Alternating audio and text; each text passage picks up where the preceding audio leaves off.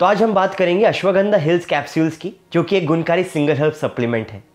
आयुर्वेदा में अश्वगंधा को एक रसायन हर्ब भी माना जाता है, जिससे कई सारे हेल्थ बेनिफिट्स हो सकते हैं। रसायन का मतलब होता है कि ये एक हर्बल टॉनिक की तरह काम करेगा, जो आपके मेंटल और फ़िज़िकल हेल्थ में सपोर्ट करेगा। तो इसलिए हम लाए हैं अश्वगंधा कैप्सूल के फॉर्म में, जो कि अश्वगंधा रूट एक्सट्रैक्ट से बनाया गया है।